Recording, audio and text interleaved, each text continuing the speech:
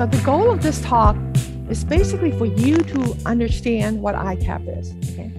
And because ICAP is generalizable to many content domains, many instructional pedagogies and contexts, and all grade levels, because it's so generalizable, if you could understand ICAP, then you can adapt and adopt and use it however you want. That's the goal of um, what I want to do. So I'm not going to give you specific um, recommendations for what you should do for specific classes or whatever. So it's just a generalized understanding. You'll see some people have adapted already. And some abbreviation in my talks will be S's for students, T's for instructors or teachers, K's for knowledge. And when I use the word instruction, it means either whatever the um, instructor says or tells us or the textbook or videos. So it includes all instructional materials. So as I said, ICAP is available to all three contexts of student learning, whether uh, the students are listening to a lecture, whether students are doing homework alone um, after school, or whether um, they're in a flipped classroom. So it's very generalizable to all these contexts. So this work has makes two fundamental assumptions that's quite different in approach from I think other work in the literature. And I'll just name those two assumptions right now so it's on the table. Uh, the most important one is that researchers, teachers, instructors, and students all think of teaching and learning uh, with the three components of instructors, materials, and students with the teachers at the center of focus, right? The instructor is the person who has the knowledge, the expertise. So research is always focused on the instructor's knowledge, the instructor's expertise, the pedagogical skills, and their instructional design activities, and the materials and assessment they create. That's always the focus, okay? What I want to do instead is put students at the top of the focus. That's what we should focus on. And we have to understand how students learn and use that to dictate how we teach. Okay, that, so that's one focus. The other focus is the general constructive view of learning, which is, uh, has a very vague definition on the world, but I want to give you a specific take now. So students typically come to instruction with various background knowledge, right? So here we have captured six let's call them mental models of what students' ideas of the circulatory system is before they come to instruction.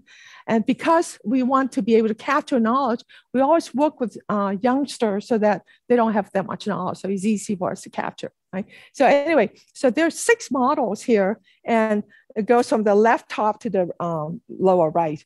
And the most popular one is this very single loop. There's no lungs in it, just an example to, to talk about with you. So there's so the point to take is that students come to learning with a lot of variability in what they initially know. So what is assumption? An assumption, an instructor is explaining from his correct, perfect normative mental models, right? That's what he's explaining, just as the text is explaining the perfect mental model. Uh, that's what teaching is. But student in learning, they have to construct some understanding in the sense that they have to modify their mental model in a way that can assimilate instruction, right? So basically, in this case, for example, students cannot assimilate that information easily as her mental model doesn't have any lungs in it. So the sentence that says in the lungs, carbon dioxide enters her blood and so on. It's just not comprehensible to the student at this point, right? So they have to do a lot of revision. And I'll bring that point up again later. So this talk has just uh, three parts. Here's the outline. I'm going to talk very fast and briefly about the ICAP theory and just mention in one slide the evidence. There's a lot of evidence. But most, most importantly, I want to concentrate on the operational definitions because I think that's what people can use um, to design and, and their own activity and so on. Then I'm going to give you several examples of actual applications of ICAP that I and others have used, have done. And then finally, I'll give you several caveats, which are uh, constraints and conditions of the theory. Okay, the theory part. So, um, so consistent with the fact that teacher is the expert idea, lecturing or you know teaching by telling has been predominant mode of teaching for over 900 years, and unfortunately, it still persists to this day. Basically, lecturing occurs in maybe 55% of STEM classrooms and 62, 65% of online classrooms. These are just a rough estimate. So the best evidence that students don't learn as well in a like in a lecture kind of context comes from the meta-analysis study that probably most of you already know. This is a study done by Freeman of where he did a meta-analysis of 225 studies um, comparing lecture classroom, lecture-based classroom with non-lecture-based classroom, just those two comparisons. Okay, so translating the effect size that he had, the learning outcome difference came to a difference of 0.47 effect size, which just roughly translates to if you got 50% correct in lecture-based classroom, you get 68% correct for non-lecture-based classroom, okay? And the failure rate also changes. In a lecture-based classroom, there might be 34% uh, failure, but in non-lecture-based, it's 22%. So his paper was very profound in giving us this kind of data. So um, I want you to note, I'll come back to later, that this difference is based on combining a variety of non-lecture based classroom, and I'll get back to this slide later. So why is active learning not widely implemented all over the place? Because Freeman's default definition that active learning is non-lecture based isn't prescriptive, right? Uh, it, there's no clear-cut definitions of what instructors should be doing to make it active. There's no theory or predictions of what so that instructors don't know when they do something wrong what, what can substitute one thing to another they, they don't know that because there's no definition um, so currently most active learning is simply implemented as learning groups small groups typically but we'll show you that working in groups of pair is only effective under certain conditions it's not always effective so there's limitations to that you have to define it carefully but if the focus is on how students learn, what's the problem? The problem is that how learning is a cognitive activity. It requires a lot of thinking, and thinking happens in the head. So it's covert. You can't really see, and it's opaque when students are thinking, especially in a class. You don't know whether they're thinking or not thinking, what they're thinking, right? However, the key assumption that ICAP made is that it turns out that students' overt behaviors uh, in terms of how they interact with instruction or instructional materials and the visible products that they produce might indicate how engaged they are. Okay, so so that's the big assumption, operational assumption. In fact, it seems quite easy to discriminate four distinct ways that students engage with instruction. And I, I label these four ways as ICAP for interactive, constructive, active, and passive. Um, so these are these words are capitalized, so it means diff- it means specific ICAP mode, not the general idea active learning or passive classrooms. So the next few slides, what I'm going to do is um, go through the definition of what these four modes are that we can uh, see actively in a classroom. So the first mode is uh, passive mode. It simply describes the behavior of students paying attention, such as listening to a lecture, uh, listening to feedback, or watching a video. And they produce basically no, uh, no outputs. Okay, they produce nothing. Um, so that, that's called passive. And notice in most lecture classroom, this is what they expect and prefer the students do, that they pay attention. The next uh, mode is active, which describes the behavior of manipulating instructional materials, and such as underlining or highlighting your textbook or copying something on the laptop. Okay, that's manipulating the material. And the key thing about manipulating material is that the students produce no uh, produce outputs, which are the highlighted sentence, but they don't contain any information beyond what was already presented. There's a key difference. So manipulating means you simply do something with the material, but the material is already there. So you highlight it, you underline it, you copy it. Those are all manipulating, okay? So in, in contrast, the third level is constructive, describes the behavior generating some knowledge. And then generating some, like, like you can draw a concept map or you can uh, draw a little diagram or anything like that, or take notes in your own words. And so the key difference between this and active is that the material you produce is not information that was already given it's beyond the information that was already given right suppose you pose a question or the question wasn't already there so you produce a new piece of information so anything you produce it could be a minuscule little thing uh, or something as big as a concept map are things that you've produced and you've been generated. So that's a constructive mode. And then the interactive mode describes the behavior of two peers collaborating uh, in, in a way such that each peer's output generates beyond what they already said or what the material already shown. So each peer is constructive. In addition, each peer must be generative above what their partner mentioned. So it's sort of double beyond yourself and beyond text and beyond the, stu- the partner. Okay, that's the definition of um, interactive for ICAP. Okay, so the other thing to notice is that uh, the four ICAP modes all refer to on-task behaviors, on-task engagement behaviors, not off-task behaviors. So listening to lectures, copying, drawing, those are all on-task behavior, okay? Off-task behaviors, on the other hand, such as sleeping, uh, looking at uh, your cell phone and so on, those, those behaviors have been detected. There have been methods to detect these. For example, Ryan Baker is very well known for doing this kind of stuff. They use learning analytics to detect it. Or if you just if you just look at for online course, how often a student opens, you know, the homework assignments or whatever. Any indicators like that are indicators of online behavior on or offline, not engagement behavior. Okay, that's an important distinction. So we're only talking about on-task behavior. So this is just a summary cheat sheet sheet of a modes. It's very easy, very easy to operational definition. You're, when you're passive, you're paying attention, but you have no output. And the next one, you're manipulating materials. Your outputs is uh, part of the input, inputs, let's say. For constructive, you're generating something new that wasn't in the materials that you got. And finally, interactive, you're reciprocally co-generative with your partner. So very simple four definitions. Okay, now I'm gonna ask you a few questions. Um, see if you got my definition. So here's an active, is this an active mode? So you're measuring a solution in a, in a lab course, right? And you're measuring solution and um, the different color um, liquids that you combine generated a new color. So after you combine, you saw that now it's green rather than uh, yellow. So is this lab test in the constructive mode? How many people say yes? How, how many people say no? right.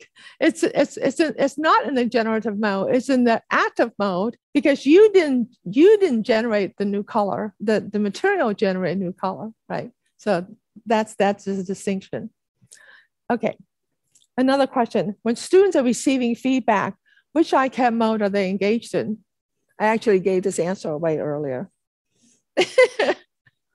Who says active? Who says constructive? Okay, it's the answer is um, it's that it's uh, passive right? They're just receiving feedback. So they're just paying attention. That's what they're doing. So feedback isn't as great as you think it is if students are only passive, right? So that's that's the idea when I get across. So people always think feedback is so great. Okay, question. This is actually a study that was done in the 70s, and I, I was very puzzled by the results, and everybody was very puzzled by the results at the time. And now we can explain it. So the study show, on, you know, just maybe somebody replicated, but definitively that for peers interacting, the one who gave explanation learned a lot more than the one who received the explanation. And this was a big puzzle back then. And, and it's the same answer. That is, the person who receives the explanation could be passive, but the person who gives the explanation is generative. So it's not all, it's not clear that receiving uh, feedback is like always great. Okay, now the ICAP hypothesis. So basically, ICAP hypothesis states that uh, learning decreases from I to C to A to P. And, um, and I can't go back and ex explain to you how I came up with the subsuming nature. The subsuming nature of the hypothesis came from the behaviors, which is subsuming, as well as the corresponding thinking processes underlying each mode, but I can't, uh, don't have time to explain it now. But what's important to notice is that there's two greater sign between the C and the A. So I and C is much, much better than uh, A and P.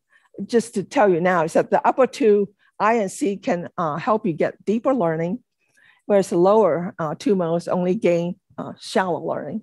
Okay, so this is the only data slide I'm going to show you. It turns out the ICAP hypothesis make many, many predictions, right? Pairwise prediction. And using transitive inference, you can say C is better than A, C is better than P, I is better than A, I is better than C. So there's just lots of uh, conditions that you can.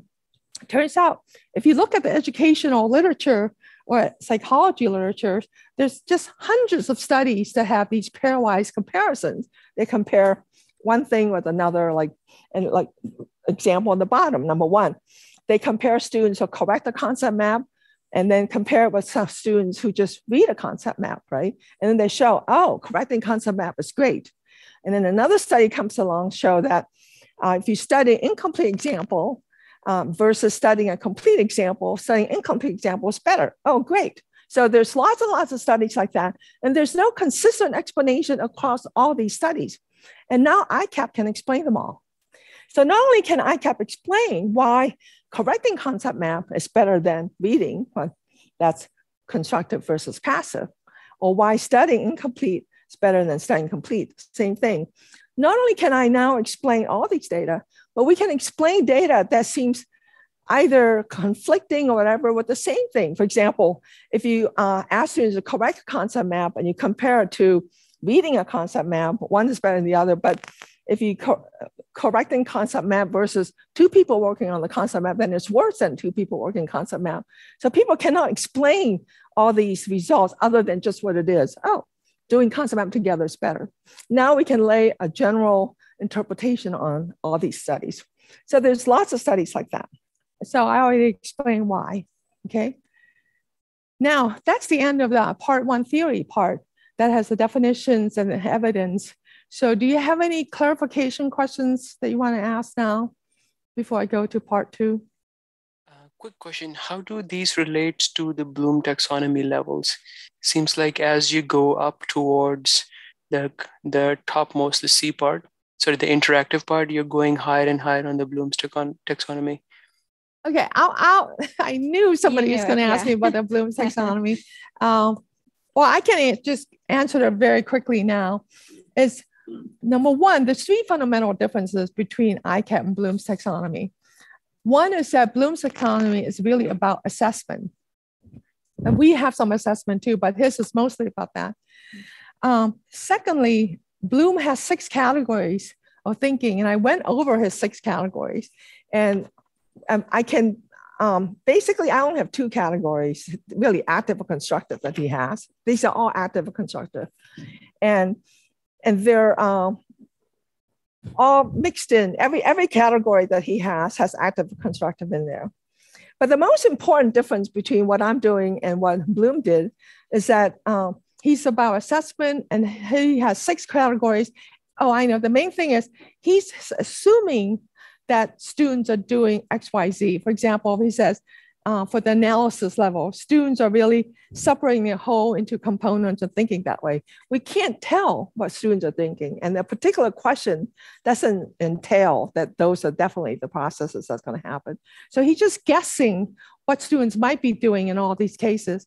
Whereas I'm just combining into two categories with overt explicit products or not, or no products, you know, distinction rather than for me in a much clearer dissection into two categories. So his is all active and constructive. I, I uh, very interesting so far. Um, and so, you know, you kind of classify delivering lectures or watching online videos as, you know, passive, passive. Um, but I think a lot of us have the expectation that the students are not just simply watching the videos, but they're also taking notes. Um, and so where does that kind of fall into kind of the, the framework you're presenting? Well, that's it. That if they are taking notes, there's two comments. But if they are taking notes, um, if they're taking notes that are just they're copying, often students copy what's shown on the on the slides. If they're just copying, then they're just being active. They're listening and taking notes. But if they take the notes in their own words, then they're listening and uh, being generative. So they're in the constructive mode. So they can do something else besides listening, right? And I, th- I thought you were also going to ask me about that. If uh, it's possible, it's definitely possible because this is all probabilistic thing. It's possible that you're sitting there just listening, but you're really thinking deeply.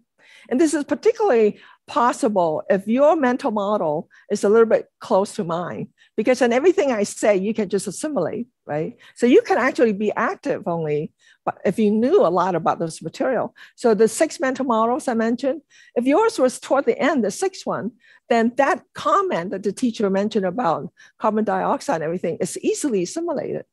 So it does, but this gets complicated. It does matter how much you know. The more you know of what I know, the easier it is for you to assimilate. I wasn't going to go there, but that that's the question. But that is a comment that's relevant. Thank you very much. Okay. The next part is going to be on applications of ICAP. And I think there's a lot more applications out there. I know there's a couple of theses coming out of ASU that I didn't direct, um, but I didn't get a chance to look at it yet. But I'll tell you about the ones I know. Okay, we're going to talk about six types of application and six examples. And all these applications, you just have to keep thinking about what's the students asked to do. What's the student asked to do? Don't think about what the faculty is doing, what the student. What, uh, so that, that's how you think about how these things work. Uh, three of these six types were actually undertaken by actually faculty or students and teachers without any training, without any guidance from me. So this is what I mean. If you understood it, you can design your own activities and ask your own questions and so on. And let's run through this example. So we're going to look at design activities, assess online courses, avoid misadoption, evaluate, evaluate tools, phrase question, and modify lectures in minuscule ways at the, at the end. Okay, how to design activities. Now this is gonna, you're gonna think this is similar to Bloom, but it's really not. So how do you design activities ideally to elicit constructive activities? So it turns out that activities for students typically are written with directives, right? The directives means an explanation, such as summarize the reason given in this text or justify each solution step. That's what that's your homework for the, today. That's what you're gonna do. And these directives do contain verbs. So we found that verbs can be easily classified into ICAP modes. So, uh, so for example, summarize, which mode is that? Well, if they just summarize by delete, um, there's a way to summarize where you just copy and delete some sentences, that's active. But if you summarize in your own words, that would be constructive. And justify, which mode is this? Well, you're provi- by providing justification, that, that would be constructive. Okay, so these, so that's how you can summarize these verbs. And um, so we went through the protocols that the teachers generated, and we saw that all these verbs could be classified so things like what will be passive will be the teacher will say, listen to me, I'll look at the board, go through this and review. It's active, the teacher says, describe the best option, sort these um, nouns and verbs, follow the example, or match similar uh, solutions. Constructive, if you say explain why, make up your own reason, imagine and draw, justify. And um, it, collaborative might be exchange ideas with your peers, debate, answer your peer's question and expand your own uh, your peer's reason expand your peer's reason okay? So these are verbs so it seems like very easy to classify verbs into different categories. And these numbers in the parenthesis 658 28 9 are the actual number the frequency of number of verbs that our teacher sample this is k-12 teachers actually use. Okay so which ICAP mode do you think these ver- verbs are? Choose, select, recall, measure, highlight, underline, copy, identify, list, order. Are they active or constructive? How many people says active? Okay, they're all active. okay, good. Now, what about explain, justify, defend, predict, draw, come up with, compare, contrast, integrate, support? These are obviously all constructive verbs. So to our surprise, we could classify these verbs easily. There's just even without without knowing the exact context. Of course, the context helps define it even better. Right? So I want you to know that eight years or 10 years ago, somebody gave me a bunch of questions that instructors asked and asked me to classify them, and I couldn't because I didn't think about ICAP back then. And I said, I can't, I can't classify them unless I know what this instructor was teaching. So now we think we can. So that's even so I came up, I just sat there and came up and I looked at stuff, materials I had. I came up with 68 manipulative verbs and so label the triangle, measure out, and 58 constructive verbs. Now, a lot of these verbs I took from actual studies of strategies that people have used, right? They study how do you um, do modeling and so on compared to some contrast. So these words were picked up from actual studies. So that's just example. Okay, so it seems trivial to change the verbs, right? So I'm going to give you three authentic example of upgrading in uh, two ASU college classes and one K-12 classes. Now, these upgrades were done by these faculty without me thinking about the verbs at the time. And we didn't tell them what to do. They just did it after they understood ICAP. So first example comes from uh, Steve Krause. He's a professor in engineering. And he and I actually worked on ICAP a little bit back then. And he had a task, so he understood ICAP really well. And he had a task uh, where students simply picked pick one of these choices and fill it in. Okay. And then, so it's a selection class. You just choose one of the answers, right? So after learning about ICAP, he changed it to uh, a generative task. Is he asks the students the same materials uh, to explain and draw. So they have to explain um, what these properties of changes are and what are the unit cell transformation. So it turns out that was a change in the verbs, right? Okay, here's another example by a geology professor, Semken, uh, here. And um, he orig originally had his task on the left, 2018, where he asked people to match the rock type to the sedimenter to some uh, the environment. After learning about ICAP, he changed it to identify, predict, interpret. So again, I didn't tell him how to change it. Steve changed it, changed it himself. Third example comes from K-12 middle school teacher when we ask them to upgrade the activities uh, however they want. So for example, so this teacher upgraded this fraction problem from fill in each section with a group of equivalents. So you, so that's you fill it in 0.8, you choose one of these down below and put it up there. This is a very common uh, kind of um, format that K-12 teachers use. So that's, that's really just a selection class, right? Sorry, you pick one and put it in there. So that's active. Instead, he changed, she changed it to a constructive task that is generate equivalent representations so you weren't given any choices. So again, this teacher also changed all these things just from understanding ICAP without any help. So um, that was the verb. Now we're going to go look at a second uh, application, which is to use ICAP to assess the doses, dosage of different modes of uh, learning in six online class at ASU. So these were six chemistry classes, online classes. It was done by a PhD student, Jesse Ha. And what he did was he he developed a rubric to evaluate the, uh, the design of these lessons, or yeah, these kind, the whole course actually, he evaluated the whole course by six chemistry professors. So he analyzed the activities within each of these classes and assigned an ICAP mode and assigned the number of minutes each mode was devoted to, um, devoted to each mode. So for example, lecturing is passive, you know, how many minutes per class was devoted to lecture. Exercises with choosing multiple choice answer, that's active, how many minutes, how many minutes in lab, lab assignments and what parts of it was active and constructive. Anyway, so he did the best to assign the mode and the number of minutes. So well, now we're gonna show you what he found, that is the number of minutes of each kind in, in these online classes. So the first two is passive and active. So 27 hours and 42 hours were devoted to active and passive. Four hours and six hours were devoted to constructive interactive. This is online class. So the first two is obviously shallow learning. So you're devoting most of your time to shallow learning. So my point is, so the goal of our improvement and upgrading is not to upgrade all activities to constructive interactive. You know, that's not necessary. And we'll explain why it's not necessary later. But we need to be less skewed than this. The skew is just way, seven one difference is just way too much, right? So we can't do critical thinking, deep thinking this way. Okay.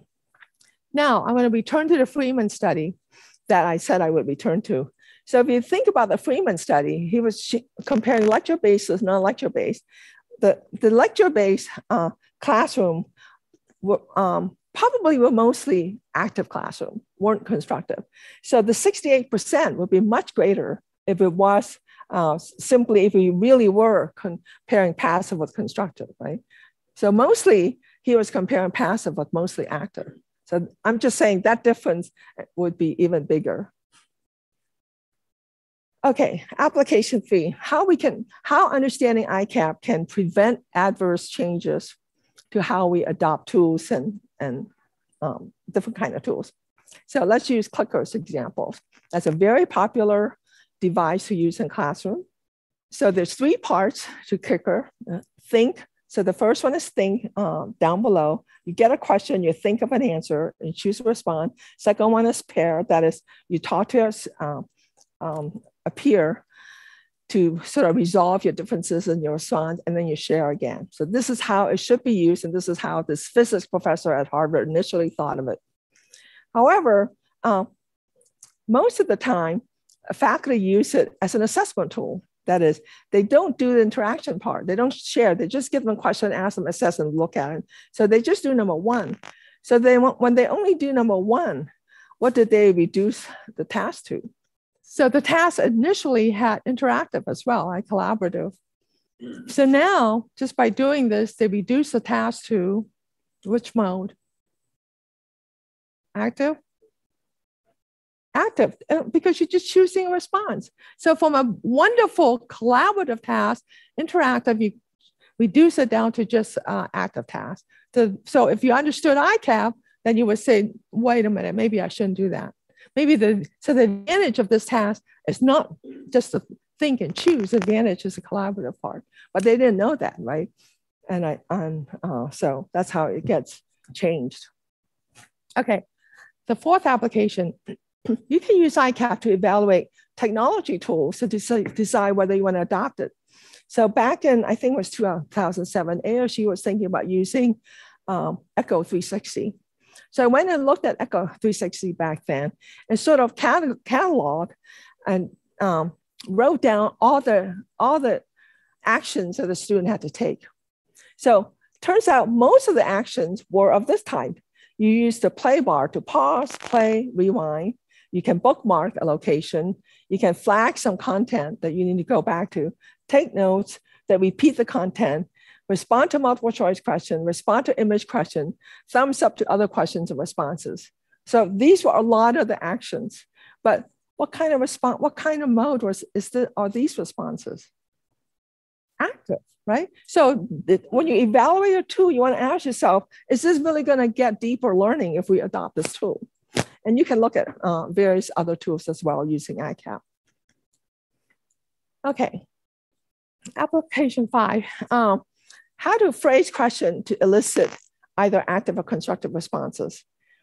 Um, and the verbs does come into play, but it doesn't have to. And not only the verbs doesn't have to come into play, but typically in the literature, people like to say you need to use the W questions, who, what, when, what, where. But that doesn't make uh, a difference either. I mean, you really have to look at what you're asking for from the student's perspective. So these are questions that were come, that came out from two K-12 teachers that we taught ICAP to, but we didn't tell them how to generate questions, but they generated these. So active question would be things like describe what we talked about yesterday. Uh, can you tell whatever is shown? Tell me the number, whatever is shown. So these are just active questions. Um, generative question would be things like uh, look at what is being generated. What will happen to the mice that have mutation described in the text, asking for prediction?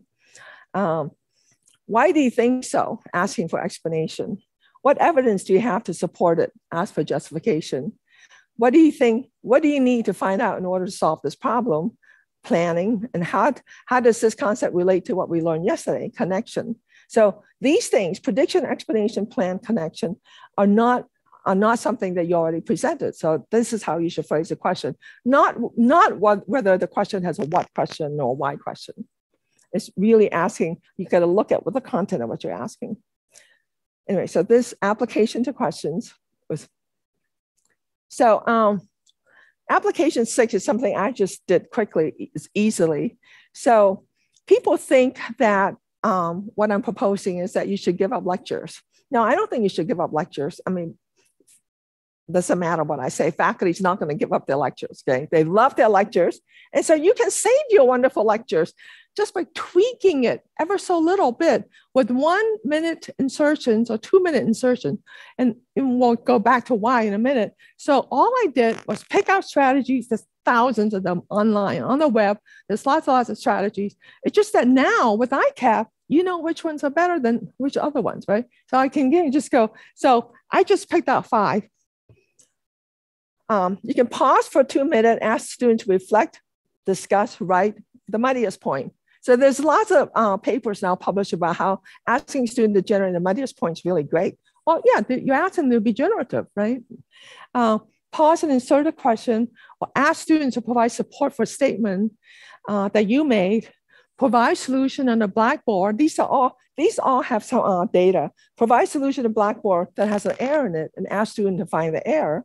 Ask student to generate test questions and ask them to draw a visual. I mean, there's tons of idea that you can adopt, and these only take a minute or two just to insert a pause um, in the lecture. So let me just go back and explain why you need to insert a pause. And I think we already got that idea frequent pauses and lectures are necessary. In fact, the best break is every, every seven minutes, you should take a pause. Uh, the reason pauses are necessary because uh, lecture provide input at a very fast pace. Every sentence that comes at you could be new information. So just look at this. This, um, oh, there's something wrong with that I didn't catch before, but this student has a naive mental model without, it doesn't have lungs in it. And so the thing is talking about in the lungs. So already the student said, uh-oh, in the lungs. My circulatory doesn't have the lungs. And after that first sentence, the second sentence talked about oxygenation. So, uh-oh, what do I do with that? So it takes student a long time to construct and revise the representation, depending how, how naive it is initially. So that takes pauses. Okay, that's the end of applications. Good timing here. Um, any questions about applications? Okay, let me go back go to caveats because I think uh, caveats going to relate to some of your questions. The third part is caveats, some condition constraints and cautions, especially, especially about interaction, which is important to point out. So um, there's three caveats here. So if the goal of instruction, yes. Yep. How does this impact grading, thinking about large classes? So that's one of the caveats. So my comment to that is that you don't always have to give you don't always have to give uh, feedback as in a grade. So in a, in a lecture you can ask students to do something. You don't always have to grade it. The, they benefit from doing it. And but if you, you know, if, if they insist on having feedback maybe there's other uh, ways like you can ask them to show it to a peer or something. But the benefit is the fact that they do it. It's not so much whether they got the feedback. Okay so if the goal of instruction is to achieve deeper learning, then you want ICAP. If you only want uh, uh, shallow learning, like memorize all the terms of, uh, of the terms of um, the body parts, then you don't need uh, to be constructive. Active is good enough. Okay, that's one point. The second point is that not all domains um, require deep learning, right? So for example, uh, grammar, do to learn grammar, uh, Ruth Wylie actually dissertation work on grammar and self-explaining didn't work because grammar, the rules of grammar, you can't elaborate. There's no rationale for why they add s now and you don't add s now. So you just have to memorize that. So for domains you just have to memorize, active is good enough. Okay. The third thing that's uh, very important is that despite what you say, what you tell students to do, they're not going to comply, right? So in our data, students would did not clearly not 100% students comply. If you ask them to be generative, they might be generative 30%, maybe 30% of them would do that. Nevertheless, it's still better for you to ask them a generative task or question than for you to ask active, because that 30% of students who did do it is going to bring the grades up for the class, right? So it still doesn't matter how many percent did it, it's still better than nothing. So it's still good to do that. Now, this is the most complicated. I have to explain why the interactive mode uh, is better, sometimes better than constructive actually, but not always. And but interactive and constructive much better than A and P. So it's very important to understand that the interactive mode is not always better than constructive. And I'll explain it now. So what is, so when is interactive collaboration really helpful? It's when the partners co-construct.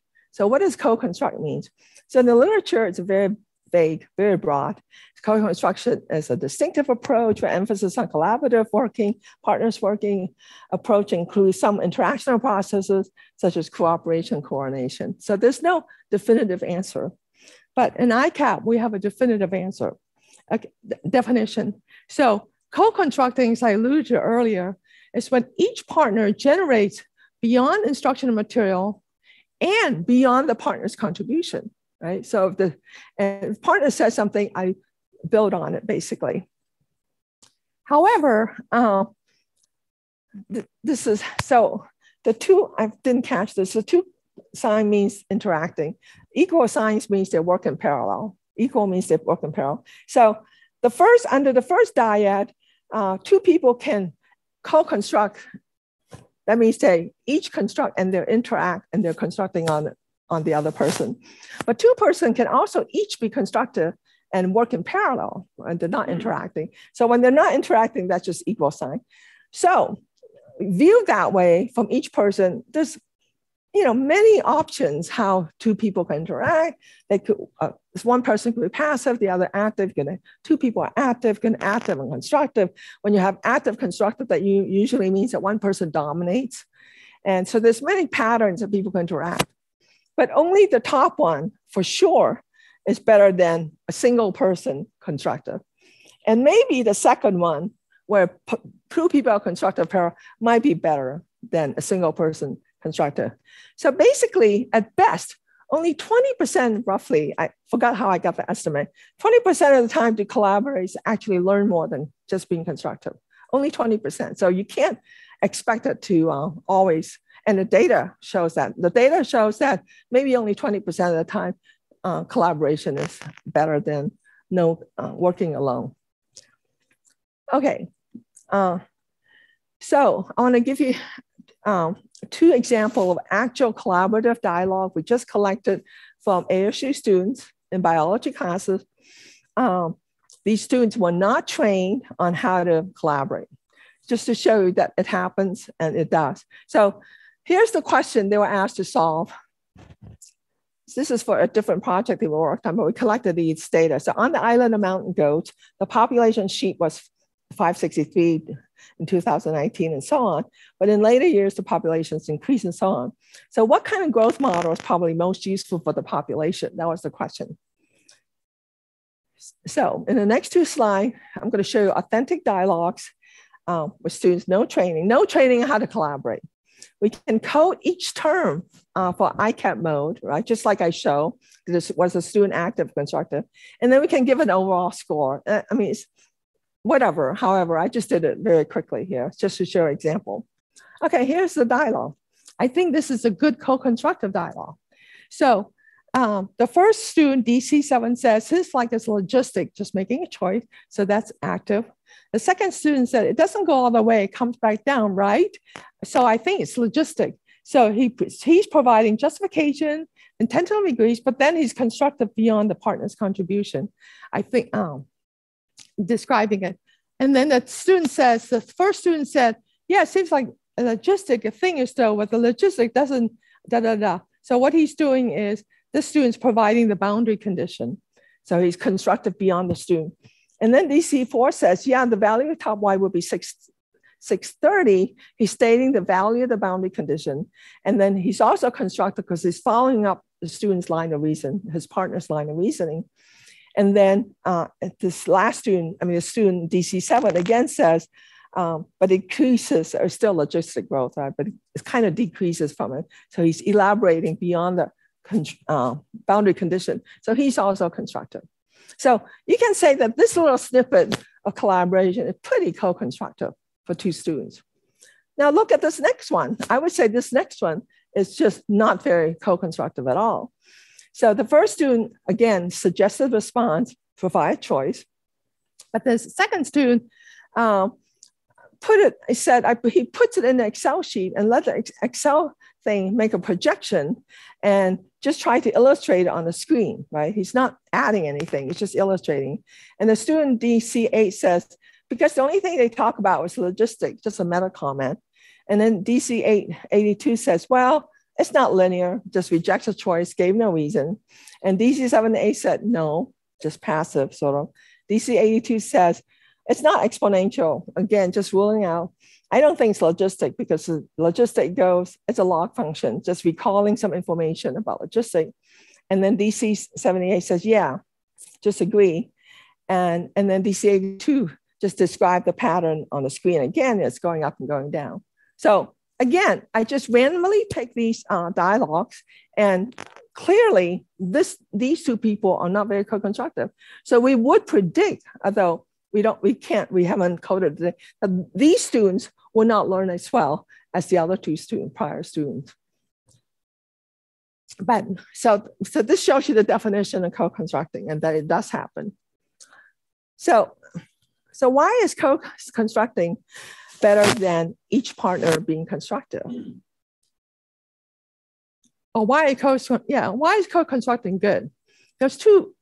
The prevailing view in the literature is that it's complementary knowledge. The two people typically would come with different knowledge. That's the first thing on the left. That is, one person knows this, one person knows that, and together, of course, if you don't have the knowledge, you can't do it. So complementary knowledge clearly works. But my point is that it's an interaction process processes. That is, instead of complementary knowledge view, I have the interaction view, which is that even if they come with identical knowledge, by interacting, collaborating, they could learn a lot more. And let me show you show you um, what I mean. So that's because human beings are really good, if they want to, make inferences, generate ideas, generate relationships. They can generate connections. That's what we're really good at doing. Okay, so basically, what we're doing then is uh, for the interaction view, each person each person, like the man, can say something. Let's say he infer X, and then the woman said can encode, assimilate the X, and link it, connect it to something she already knows Y, and infer Z. So the point is that when you interact, even though you have the same knowledge, you can make different inferences from what knowledge you already have, and then um, you are generating something ultimately the Z that X didn't, the man never thought about generating. So you could create something new. So by co-constructing, you could create something novel that neither of you could have created alone. That's how powerful I think interaction processes are, but it's difficult to get. So, so the interaction view means we should really design training and how to help people collaborate in this co-constructive way. And to this day, I'm not aware of any training system yet. Okay, this is um, this is something I've been thinking about for a long time, and I want to see if I can get across to you um, what I mean. So caveat five. So if you pick up a book um, on how to help people learn, how students learn out there, there's tons of them. And basically, the way they try to sell the book is to say that they're, they're applying and translating very robust education, ed, education psychology findings or psychology findings. Okay, so uh, what do I mean by that? So they're applying robust, a very robust set of evidence-based finding from decades of research. All these books that we have decades of research, um, and we should do this in a classroom. So some examples are um, you should space learning. So you should space learning over time, you know, present some material, present it again later and so on. or you could take out extraneous material because you have workload limitations, so you shouldn't have workload. So there's tons of those kind of very robust sound studies, and we can translate them to instruction, obviously. That's not what ICAP's doing. And how is ICAP different? So the major difference between ICAP and those kind of study, I claim, is that Oh, let me give you exa- more example. So I said limitation, how to overcome that. And so basically those kind of studies look at um, fundamentals of the human mind. What can the human mind do? And what are the human mind's limitations, right? So we have short-term memory limitations.